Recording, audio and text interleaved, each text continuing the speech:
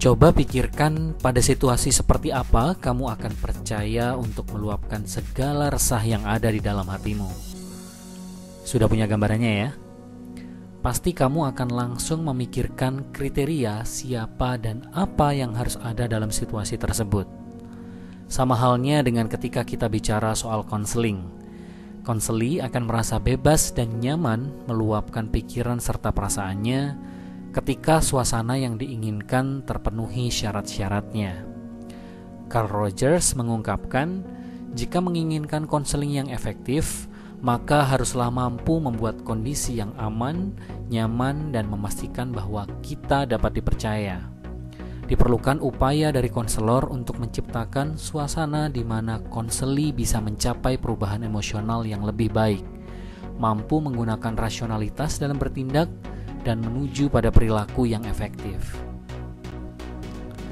Rogers menyebut kondisi ini dengan kondisi konseling yang fasilitatif, kondisi yang perlu menghadirkan aspek kongruensi, kongruens, penerimaan tanpa syarat, unconditional positive regard, dan berempati, empathic understanding.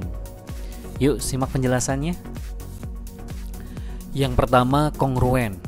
Kongruen dalam beberapa istilah diterjemahkan sebagai nilai otentik atau genuine, murni. Terminologi ini dimaknai sebagai keselarasan antara apa yang diucapkan secara verbal dengan hal-hal yang nampak secara nonverbal. Apa adanya, terus terang, tidak menampilkan kepura-puraan, serta terlihat secara tulus mengungkapkan perasaan dengan menampilkan sikap yang otentik. Apabila kongruen melekat pada pribadi konselor, maka konseli pun akan menghilangkan pembatas dirinya berikut topeng perlindungan dirinya. Konseli akan bebas mengekspresikan perasaan dan pemikirannya sama halnya seperti yang konselor tunjukkan. Keselarasan ini mengarahkan proses konseling menjadi efektif karena kondisi fasilitatif telah terbangun. Kedua, penerimaan tanpa syarat, unconditional positive regard. Dengan ikhlas ingin menemui konselor saja sudah menjadi keistimewaan tersendiri. Lantas, kenapa kita harus memberikan penilaian baik buruk, lemah kuat, serta stereotip terlebih dahulu pada konseli? Sebab tidak semua proses bimbingan ataupun konseling didasari dengan keputusan sendiri. Seringkali karena disuruh menghadap pada BK. Sehingga siapa pun konselinya kita sepatutnya mengedepankan penerimaan tanpa syarat ini bukan menghakimi apa yang dia lakukan di masa sebelumnya. Konseli datang karena mereka tahu kita terbuka menerima mereka, menerima dengan tulus, hangat, dan menghargai konseli. Ketiga, berempati, empathic understanding. Kita sebagai konselor mampu memahami cara pandang dan perasaan konseli berdasarkan kerangka pemikirannya sendiri, internal frame of reference.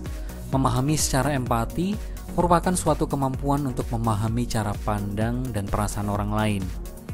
Berempati dapat dirasakan dengan seolah-olah kita berada pada situasi yang konseli hadapi, sehingga kita bisa merasakan apa yang dia rasakan dan dia pikirkan.